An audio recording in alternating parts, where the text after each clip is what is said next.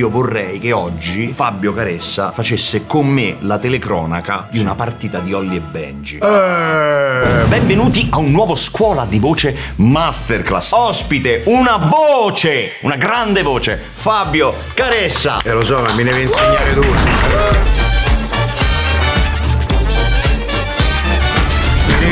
Tutto perché noi facciamo la voce, ma diciamo che non è in controllo perfetto come la vostra, anche se ci si lavora, ma non è in controllo perfetto come riuscite a fare voi, quindi è una cosa diversa. Non è- Vediamo, ci C'è un gran controllo della situazione però nel vostro caso, Quel- eh, quello sì, sì. Il controllo della situazione è controllo. fondamentale anche perché in alcune partite in particolare se tu usi un tono con una squadra un tono con un'altra non si può fare Non una cosa fare, eh, no, in no. imparzialità vocale. Bravo. Quindi c'è un controllo delle emozioni anche lì. C'è eh. un controllo dell'emozione, ma soprattutto c'è proprio il controllo del tono. Certe volte è difficile perché sei allo stadio, quindi magari se segna la squadra di casa il tono è più alto perché c'è più rumore, se segna la squadra che non è in casa magari il tono è più basso e c'è meno rumore. Devi stare attento a tenere lo stesso livello. Vedi, non questo è, facile. molto importante. Il commentatore deve essere totalmente imparziale. Tu nasci a Roma Sì. ed esordisci quando? Allora, io esordisco nel 1988. Mi viene male. In un canale che si chiamava Canale 66, che era in realtà un secondo canale di un grande canale romano che è tuttora Teleroma 56, canale di grande tradizione proprio sul calcio. Io però inizio con conducendo a 19 anni una trasmissione che si chiamava Calciomania, mi ha fatto iniziare Michele Plastino, che è uno dei pionieri della televisione locale, ma direi sportiva in Italia. E poi a un certo punto ti trasferisci perché segui la tua vocazione, la chiamiamo così vocazione, Sì. di fare il commentatore sportivo. commentatore sì. Io sportivo. inizio a fare sempre nell'88 la prima radiocronaca e nel 91 mi prende Telepiù a Milano per eh, cominciare a commentare prima il calcio internazionale perché non c'era, poi a me piace dire che ho fatto tutti i gradini perché ho fatto calcio internazionale, calcio a 5, calcetto dei campioni che era un calcio a 5 di vecchie glorie, Serie C, Serie B, Serie A, Europa League che allora era Coppa UEFA, Coppa dei campioni, nazionale, mondiale. mondiali e quindi tutti ci ricordiamo andiamo a Berlino Andiamo a Beppe, con Berlino. Beppe Bergomi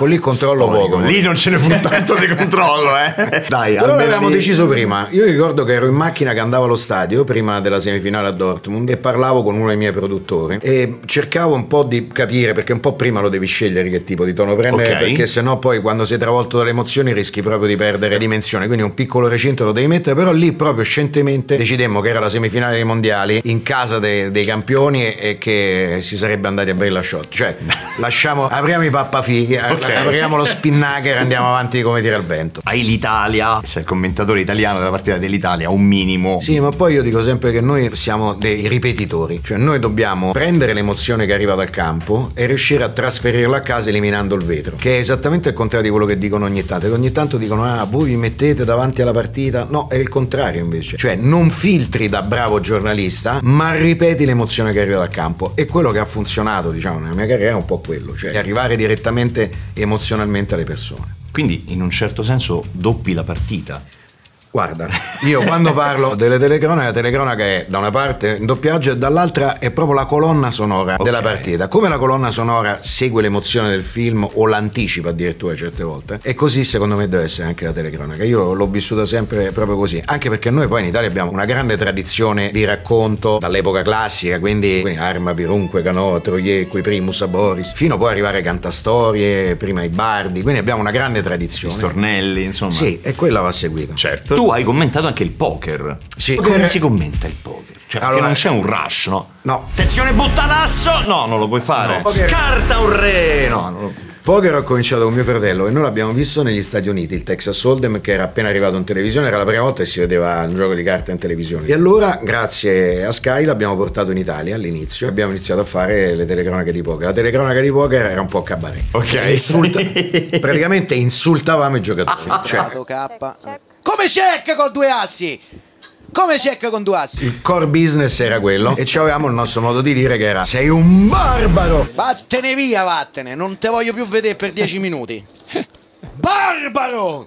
Perché quando uno faceva una giocata e non c'aveva senso, gli davamo del bar. del barbaro. Sì, sì. Poker abbiamo detto, calcio a 5, Serie A, Nuoto. Serie B, nuoto. Come se Nuoto alle Olimpiadi. Come- nuoto alle- Vai, vai, vai, nuota, guarda come nuota. Può sembrare facile perché insomma, rispetto al calcio stanno in una corsia, fanno Certo. avanti e indietro. Però c'è- sono molto vicini sempre tutti. Sì. E poi soprattutto la devi guardare molto sul monitor perché c'è una grande differenza tra il fatto che la piscina è così e sul monitor è così invece, sul bidimensionale, capito? E quindi è molto più difficile. Vedendo dall'alto tu vedi meglio chi è Vedi meglio, però se mentre nel calcio diciamo che c'è la tridimensionalità ugualmente, Sì. in una piscina le prime telecamere che ho fatto facevo molto fatica a passare dal bidimensionale al tridimensionale. Cioè l'occhio non leggeva immediatamente questa cosa, ci ho dovuto mettere un po' di impegno. sei passato anche a Radio 105. Radio 105 per diversi anni e poi mm, mi ha chiamato Linus, mi ha chiamato Zazzaroni e ormai sono più di dieci anni che lavoro con Zazzaroni a DJ e facciamo la trasmissione tutti i sabati a mezzogiorno. Quindi telecronaca, televisione, radio, ma hai anche un canale YouTube. Ho un canale YouTube che abbiamo aperto perché io poi sono stato convinto dalla squadra che lavora per me più che con me, nel senso che lavora con me ma sono loro che fanno le cose Ok. e mi hanno indirizzato bene perché insomma ci dà grande soddisfazione. Siamo Bene. molto contenti. È molto bello anche il fatto che comunque poi a un certo punto devi div- diversificare il mezzo di comunicazione per arrivare a più canali possibili perché quelli che guardano Esatto. YouTube è difficile che guardino alcuni programmi che faccio in televisione. E quindi per sentirsi giovane bisogna essere a contatto con quelli più giovani. Sono d'accordo, sono d'accordo. E poi ti, ti svelo una cosa. Tu sei sposato con Benedetta Parodi. Ma come no? Devi sapere che il primo canale YouTube che io e Paolo fondammo ormai 11 anni fa si chiamava Cotto e Frullato. dove parodizzando quello che faceva Benedetta in televisione con i suoi piatti, io cucinavo e poi frullavo tutto e bevevo. Ah, fantastico. Sì, sì, sì. Addirittura lei viene citata in una nostra canzone dell'epoca che facemmo la canzone di Cotto e Frullato che era Canto e Timone. Il frullo e tu godi, sono la tua Benedetta Parodi. Ah, Facevamo quella parodia della parodia. Quindi Siamo accomunati da sempre in realtà, io e Fabio. Spero solo così, cioè, Sì, no, che no, la io comunanza no. si sia fermata là. perché Abbiamo c'è- un amico in comune. C'è il fisicone, non vorrei. Abbiamo un amico in comune? Maurizio Trombini. Eh, come no? eh, lui rideva molto di questa No, fa cosa. molto ridere che io ho fatto la battuta e tu dici il tuo amico è Trombini, però va bene. Eppure Maurizio si chiama, tra l'altro, vabbè, ma sono dettagli. Però noi sappiamo che tu hai esordito da molto giovane nel giornalismo Sì. e hai lavorato per una famosissima rivista. Sì, cioè. Cioè? Avevo 17 anni forse Lavoravo per Cioè e per un eh, giornale che si chiamava Il Corriere Laziale. Il Corriere Laziale faceva tutte le partite di calcio minore, calcio Mhm. giovanile e io mi divertivo molto perché io facevo il basket di Serie D, Ciampino, andavo il sabato sera in dei posti assurdi. E poi c'era Cioè. E infatti devi sapere che ci ha contattato, cioè, e ti rivogliono. Sapevano che eri qua, no? Molto Ma Maurizio, senti, devi fare una cosa. Io ho detto, cioè? E loro mi hanno detto, devi fare un casting a Fabio per farlo tornare da noi perché deve gestire questa cosa. Quindi io ho qui alcune lettere cui dovrai rispondere. Benissimo. Allora, questa è la prima. Vai. Ciao Fabio, mi chiamo Giovanni e vengo da Napoli. Da quando ero bambino ho sempre avuto la passione per la corsa con i cammelli. Passione, pass- passione che mi accompagna ancora oggi. Cammelli e non dromedari. No, no, no, cammelli, bigobba. sono- Vorrei tanto diventare un professionista, ma purtroppo non ho né un cammello né un deserto in cui allenarmi. Cosa dovrei fare? Abbandonare il mio sogno e continuare a crederci? No, allora guarda, eh, caro Giovanni. Giovanni, sì. Io capisco la difficoltà. Per quanto riguarda il deserto, ti consiglio per abituarti, così, per acclimatarti, di andare in una spiaggia italiana nei giorni più caldi senza acqua e rimanere lì sotto il sole per un tempo che va dalle 11 alle 14 ore, così Sì. tutto il tempo della luce. Così. Invece per il cammello ti consiglio di andare in alcuni bar che adesso ci sono, Mm. dove c'è quel gioco che metti l'euro e devi stare in equilibrio sul toro, sulle cose, perché secondo me, secondo me, Fa pratica. me. La numero due. La numero due. Carissimo Fabio, non ti conosco bene, ma mio papà ti ascolta sempre alla radio. Mi serve un favore, mi chiamo Ginevra e ho 12 anni, sono una pattinatrice e vorrei andare alle Olimpiadi. Capirai quindi che non ho proprio tempo di imparare la matematica. Puoi dirlo tu a papà? Eh. Grazie. Guardi, io, caro dottore, le potrei dire molte cose per far sì che lei possa permettere a sua figlia di allenarsi a tempo pieno e anche saltare dalla scuola. Le potrei dire che comunque la scuola si può recuperare e che lo sport insegna molte cose. Comunque vedrà che se sua figlia sarà forte nello sport poi avrà piacere anche di studiare. Tante cose le potrei dire. E invece le voglio dire un'altra cosa che è molto importante, secondo me culturalmente più significativa. Se diventa brava sua figlia va a un'ordine non e fa un sacco di soldi. E quello secondo me può essere una cosa che Può le essere, ecco, grazie Fabio, sicuramente ovviamente la piccola Ginevra, Ginevra sarà molto punto- contenta di questo, punto. punto. Vai, e ora Ginevra. abbiamo l'ultima, l'ultima busta, numero 3. Sono Maurizio, sono nato a Prato ma vivo a Milano. Seguo tantissimo il nuoto e un domani vorrei diventare il nuovo Michael Phelps. Ho però un piccolo problema. Non so nuotare e ho paura dell'acqua. Cosa posso fare? Questa non è facile. Mm. Io ti do il numero di telefono di alcuni calciatori che non sono capaci a giocare a pallone e odiano anche il calcio, secondo me, da come giocano. Se ce l'hanno fatta loro a giocare in Serie A, alcuni l'hanno chiamati pure dall'estero, vedrai che te puoi diventare tranquillamente un campione di nuoto, non c'è nessun problema. Bocca al lupo Maurizio da Vai Maurizio, comincia con una vasca da bagno. Sai che una volta... Scusa, bene? Bene... Bene conduceva il telegiornale, studio aperto, prima ancora che iniziasse Cotto e Mangiato. La Pellegrini vince l'ennesima medaglia, magari agli europei, no? mi sembra agli europei. La Benedetta molto compita fa grande successo Federica Pellegrini, ancora una volta campionessa europea, mandano l'intervista, riesce l'intervista e le fa grandissima Pellegrini, sempre la prima nella vasca da bagno. Voleva dire in vasca, no? Perché gli avevano scritto in vasca e invece la- nella vasca da bagno. Nella vasca da bagno. Fantastico. Non fate anch'io di gaff storie. Dai, la più, la più eclatante? Allora, io dico il nome e il cognome dei giocatori sempre, no? Derby Ok. di Roma particolarmente teso. Per noi è importantissima la postazione che permetta di vedere quando c'è il calcio d'angolo, deve essere dall'alto, perché così tu vedi quando saltano. Se invece ce l'hai bassa la postazione, quando saltano non vedi, vedi solo le gambe, no? Era gennaio, faceva freddo e quindi c'erano 3-4 giocatori con la calza maglia nera e i due attaccanti della Roma erano Mirko Vucinic e Battista detto la bestia. Battista detto la bestia, giocatore di colore. Vucinic invece non era di colore e proveniva dai Balcani. Calcio d'angolo, mucchio, io vedo nero. Eh, perché e urlo la bestia 1 a 0 era Vucinic cazzo qua ragazza maglia nera ho sbagliato Siamo a scuola di voce, quindi Sì. parliamo un po' della tua voce, delle tue caratteristiche vocali. Hai un grande vocabolario. e- Io credo molto nella contaminazione di generi, quindi cerco di portare delle parole che vengono usate in altri contesti, decontestualizzo e le porto quindi nella mia telecronaca. E poi io c'è una cosa che consiglio sempre ai ragazzi che si muovono per i primi anni in questo mondo, che è quello di leggere. Cioè io mi accorgo che se io diminuisco il ritmo di lettura, il mio vocabolario automaticamente si impoverisce, perché poi nella vita di tutti i giorni in realtà noi usiamo vocabolario molto più ristretto rispetto alle possibilità della lingua, no? E quindi è molto importante leggere perché la lettura ti porta proprio in testa dei vocaboli che altrimenti magari non ti verrebbero prima istanza, come si dice. Quindi sei un grande lettore. Sono un grandissimo lettore, soprattutto di gialli. Ti piacerebbe commentare? Sai, sai che ci sono molti canali che si occupano di crime. Mi piacerebbe molti canali che fanno il crime, io sono molto appassionato, proprio li seguo, soprattutto i call case mi piacciono tantissimo, sì. quindi la possibilità di aprire dei vecchi casi con le nuove tecnologie adesso stanno scoprendo molte cose che prima non si potevano scoprire, ecco, quella cosa lì a me piace molto, proprio mi appassiona. Beh, abbiamo scoperto un nuovo lato di Caressa. Tu sei nato a Roma. 100%. 100% da generazioni, quindi immagino che a casa tua ti Almeno parlasse... cinque generazioni. E allora che a casa tua si parlava romano. Con una cadenza romana, però si parla romano. Io ogni tanto quando parlo, parlo proprio romano. Non ho preso tanto accento milanese, se consideri so 30 anni che No, eh, direi proprio di no, direi proprio di no. C'è qualche modo di dire che ricordi qualche scioglilingua romano? No, scioglilingua no, però la cosa che più mi è rimasta del romano è mortacci tua, cioè, quella è proprio la cosa... Non è- è andrà proprio- mai via. No, quella proprio... Ogni tanto rischio che mi esca pure in trasmissione, cioè quando, quando rimango molto sorpreso, soprattutto quando c'è Di Canio, che è romano pure lui, no? Quello ce l'ho proprio dentro, ma devo dirti che io sono anche molto orgoglioso della radice romana e quindi anche se adesso mi sento cittadino adottivo milanese, dopo tanto tempo mi sento anche milanese, però quello non l'ho voluto abbandonare. E invece c'è qualche dialetto, qualche accento che, che ti piace imitare? Since ne sciamanin, since ne machine, non ce ne c'è scesa. Non lo so se l'ho detto bene, ma più o meno...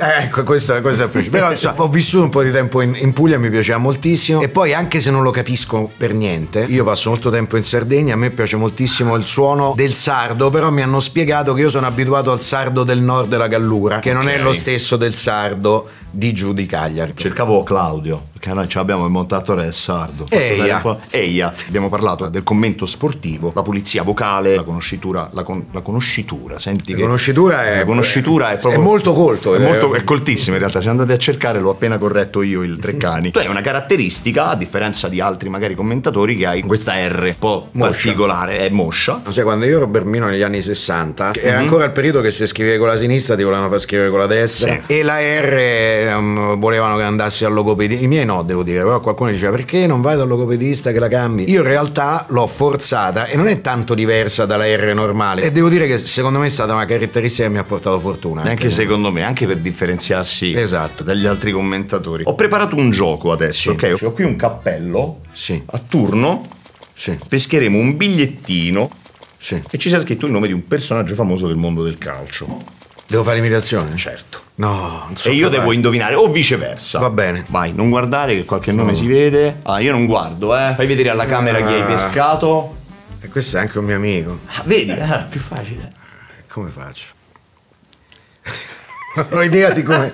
Aspetta, ci devo pensare. Ho giocato tantissimo nella mia posizione, sono stato molto contento di farlo e dai Fabio lo sai benissimo che quando facevo quei gol molto spettacolari era un po' il mio genio che veniva fuori. Faccio malissimo, non indovinerai mai. Anche perché non, è, non c'ha inflessioni No, sto, dialettali. pensando, sto pensando a gol caratteristici. Eh, que- quello Sto pensando a- Eh, Diciamo una voce molto gentile, devo fare una voce molto gentile.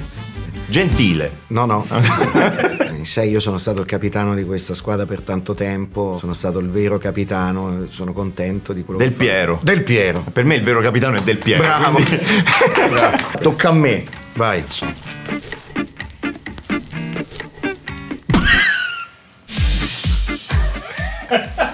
Immagino sia difficilissimo. Ah no, se ridete. Allora, risa- sai che secondo me dalla risata ho già capito.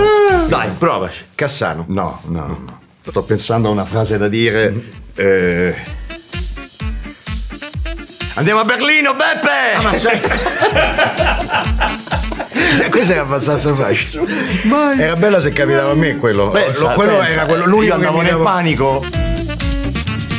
E se c'era una cosa che non sopportavo, eh, era sempre stato la FIFA, il potere, non lo poteva superare perché Perché? all'inizio cose che non si potevano dire. Mourinho. No, non si potevano dire. Per me la eh, era la cosa più importante. La cosa più importante era la izquierda, la mano izquierda. La mano ha sido Ah, Maradona. Maradona. A mano sinistra. Era bellissimo. Allora. Qualsiasi argentino l'avrei fatto uguale, ovviamente, perché non è, non è che cambiava la voce, erano solo le parole. Mo, comincio a entrare nel gioco e mo divento agonista. Vai.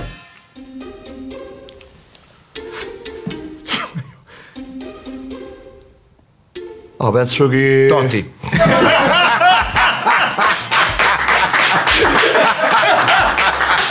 Guarda, sono rimasti due. L'uomo gatto.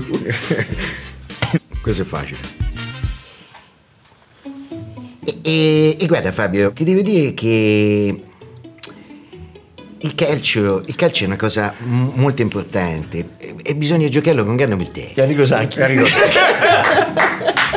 Salutiamo il grande Enrico, Grande. il genio che ha cambiato il calcio. T'aiuto. Sì. E penso che la partita Ah. abbiamo giocato bene. Sicuramente Liverani poteva. poteva far meglio, ecco. C'era. Giochiamo insieme? Vai. È grandissimo. E che non lo sai, come fatti a me? Bravo. Cosmi! No, è Cosmi. Cosmi. Quando hai messo il cappellino pensavo Iachini, devo dire la verità. Ah, perché Iachini c'è il cappellino. Co- Cosmi. Serzi anche lo salutiamo. Serzi è uno che ha cambiato un po' la comunicazione nel calcio. Porca miseria, andava capito, Sì, cioè sì, nel senso. Pari merito comunque. Pari merito. Grande. Bravo. Complimenti. Diciamo che quelli dove indovinare io erano più facili. Totti e, e, e Caressa diciamo che. niente per fare totti. Ragazzi, vi ricordo sempre che se volete scoprire delle curiosità un po' più interessanti, un po' più segrete degli ospiti di scuola di voce, vi ricordo che esiste la sezione abbonamento. Allora, va, vi voglio fare un po' i fatti tuoi. Tu hai studiato scienze politiche alla LUIS e public speaking all'estero. Hai sempre voluto occuparti di giornalismo sportivo o non trovavi lavoro?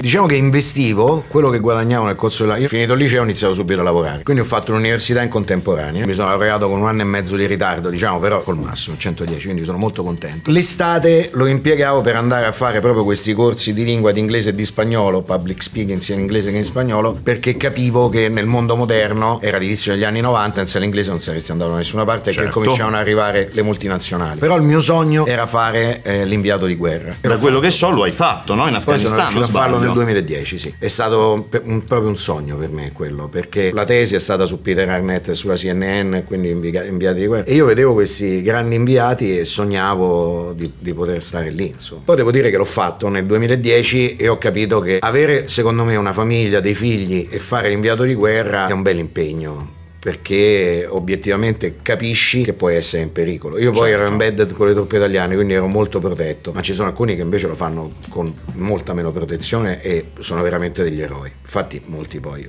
purtroppo scompaiono. conosciamo le storie. Ti ricordi qual è stata la tua prima telecronaca? 1987 addirittura Cesena Lazio radiocronaca di Serie B Teleroma faceva parte di un consorzio per cui siccome c'erano problemi per entrare negli stadi perché lavoravamo praticamente senza permessi senza biglietti, senza niente sai come funzionava? tu entravi allo stadio olimpico prendevi quello della SIP si chiamava allora quello Sì, me la ricordo la SIP. Facevi, senti, ma attacchi in telefono perché c'erano delle linee non utilizzate. Tu gli davi 50.000 lire così.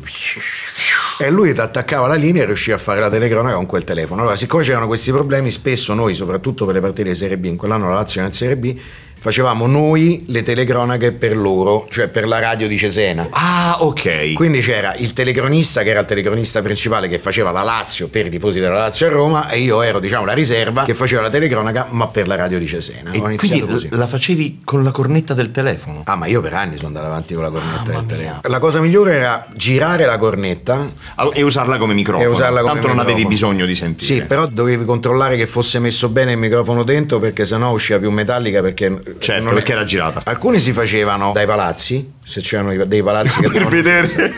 Piccinini, le prime da Genova le faceva dal palazzo, non vedeva me- metà campo, gliela raccontavano. Opp- oppure io sempre a Genova, che erano la tribuna era piccola, la tribuna stampa, quindi ti beccavano e rischiavi che ti cacciassero via. C'era una radio che si chiamava Radio, c'è ancora, si chiama Radio Babboleo. Io stavo sotto le gambe dell'inviata di Radio Babboleo, del- dell'inviato di Radio Babboleo. Brighella. E, no, e mi mettevo con la testa fuori e la facevo solo con la testa per evitare che mi vedessero. Quindi non avevo un mio posto, io ero sdraiato per terra praticamente.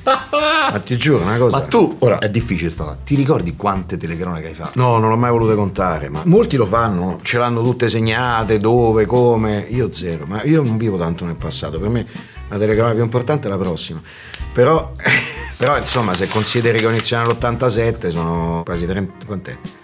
Di. Quasi 40. Sono, sono 35. Io sono dell'86, quindi. Eh, Ci sono dei periodi in cui ne facevamo anche 100 all'anno, quindi ne ho fatto una, una Meno media- 4.000 l'hai fatte. tra le 3 e le 4 mila l'avrò fatto. Ho sicuramente più di 500, quello lo- l'avevo fatto più o meno come calcolo, di dirette, a parte le telecronache, sono sopra i 5.000.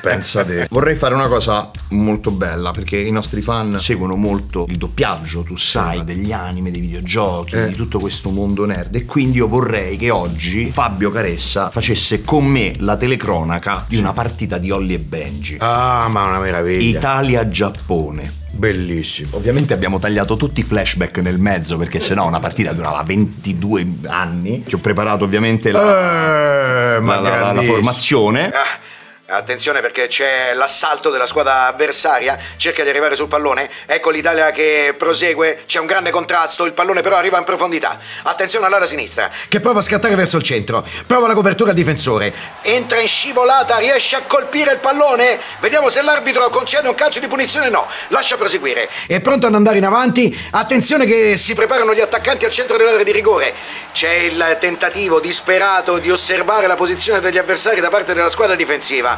E è stato fischiato probabilmente un calcio di punizione, è già battuto in velocità. E allora può proseguire la squadra. Vedete che la formazione tatticamente è messa in campo in una maniera un po' particolare, è praticamente un 5-5-0. Il pallone in profondità e sta per arrivare Olli. C'è l'uscita del portiere, serve un'uscita alta assolutamente, prima che il pallone entri in area di rigore. Ecco che vanno per aria, il portiere in anticipo e salva contro l'attacco del Giappone. Ma attenzione, potrebbe essere fuori aria. Grande Fabio! No, ma voi non avete capito. Uno, l'Italia aveva la maglietta verde. Infatti non avevo capito qual era una e qual era la... Due, se guardavano.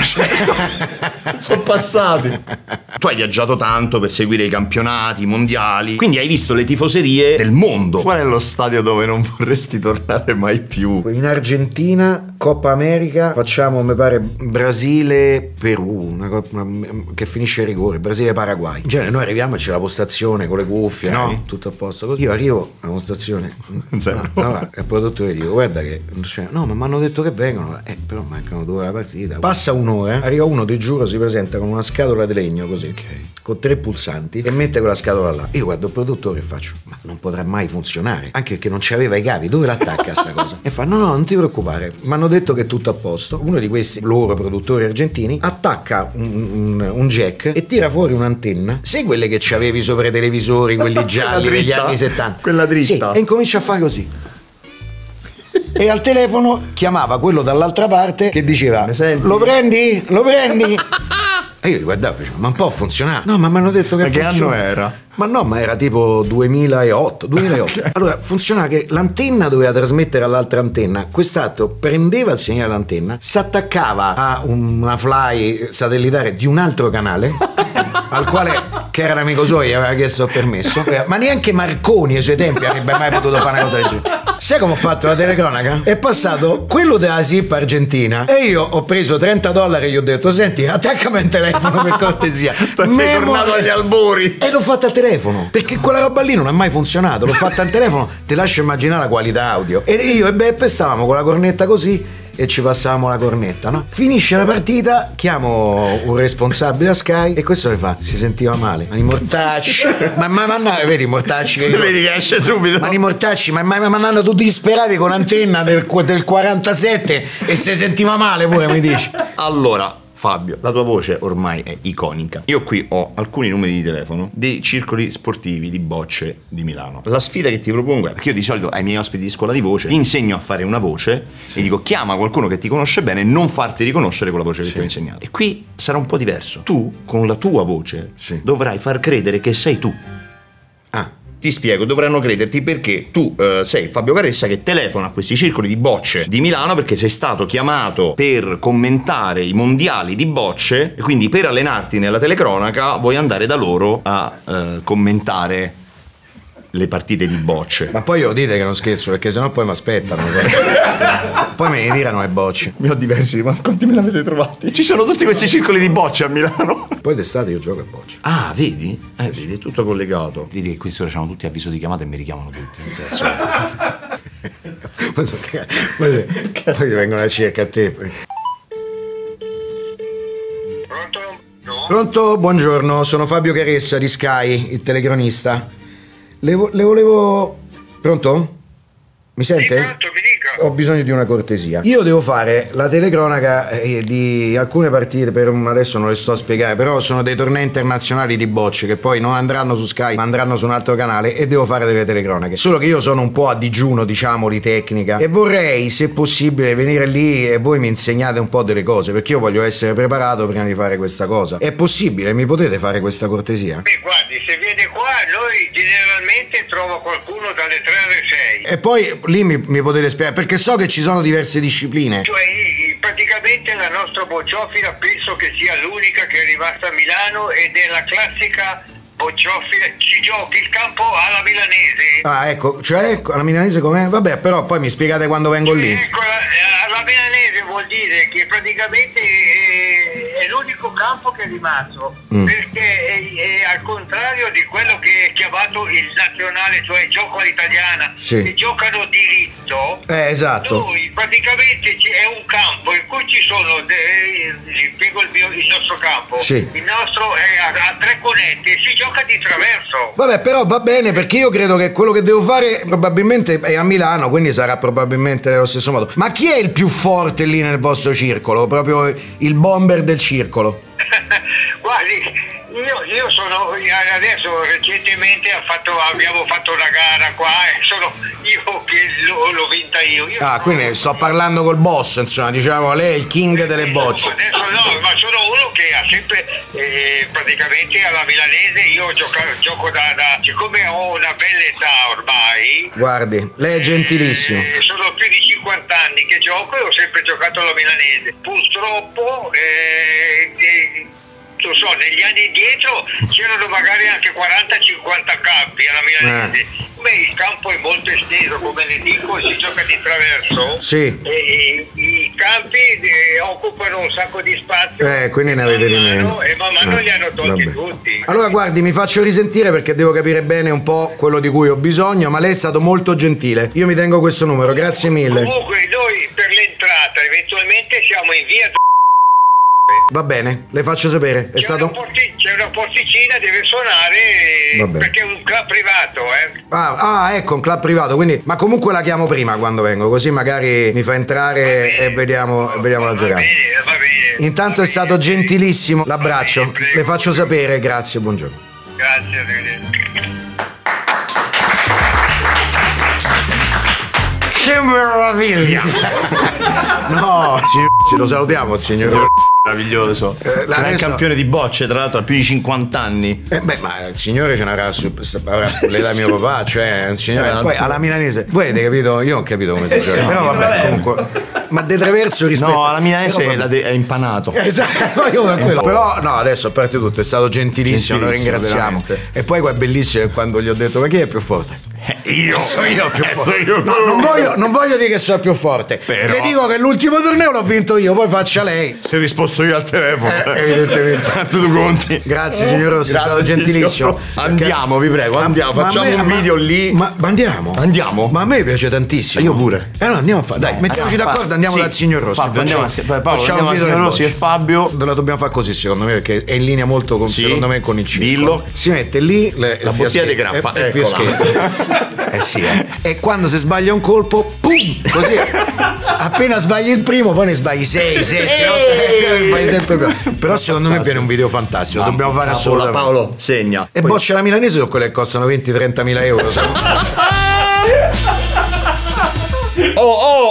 abbiamo parlato di tutta la tua carriera, di come hai iniziato, di come hai proseguito, di come sei arrivato alle bocce, no? Però c'è qualche progetto per il futuro, qualcosa dove ti potremo sentire? Allora, progetti per il futuro ce ne sono sempre. Mi avrebbero proposto di fare qualcosa a teatro. Allora, tu devi sapere che Di. il sogno di mio padre sarebbe stato fare l'attore, no? E quindi questa cosa un po' ce l'ha trasmessa poi fondamentalmente. Io non sono in grado di fare l'attore, ovviamente è tutta un'altra professionalità. Però ecco, quella roba lì, se mai un giorno riuscissimo a trovare una soluzione, diciamo, nelle mie possibili, nelle mie corde, quindi più una cosa di, da, raccontatore, diciamo, più che Ok. da attore proprio, mi piacerebbe molto. Però ecco, quando ho provato a fare dei doppiaggi ogni tanto così mi sono divertito tantissimo. E poi eh, il progetto per il futuro più importante è che ci sono i prossimi europei dal 14 giugno al 14 luglio che noi trasmetteremo e quando ci sono questi importanti appuntamenti della nazionale, quando arrivi lì poi ti cresce una grande adrenalina, anche perché io nella mia vita ho avuto la grandissima fortuna di fare la telecronaca di una finale mondiale vinta e di una finale europeo vinta e quindi non c'è due senza tre, riuscire, riuscire a fare il terzo colpo sarebbe veramente fantastico. Ci sarà la messa in onda di Pechino Express, ho partecipato con mia figlia e devo dire che è stata un'esperienza veramente indimenticabile perché poi il rapporto padre-figlia si cementa nelle difficoltà, no? quando sei proprio a nudo ti capisci molto meglio, è stata un'esperienza fantastica. Poi Celentano ha dedicato una canzone a tua figlia, io mi ricordo quando era bambina appena nata, Sì. una caressa in un pugno. Ragazzi, io ovviamente vi lascio in grafica, in descrizione, tutti i link e tutti i canali dove potete trovare Fabio, i suoi contenuti, il suo canale YouTube ovviamente. E io ti ringrazio di essere stato mio Ci vediamo sulla bocciofila. Alla bocciofila, commentate perché verrete come pubblico al grande torneo di bocce che vedrà me contro Fabio Caressa. Grazie. Ciao! Ciao amici. Grazie Fabio. Ma guarda un po' chi c'è. Sì, lo so che stai per cliccare abbonati. E fai bene, perché grazie all'abbonamento potrai avere tantissimi vantaggi pazzeschi. Provare per credere.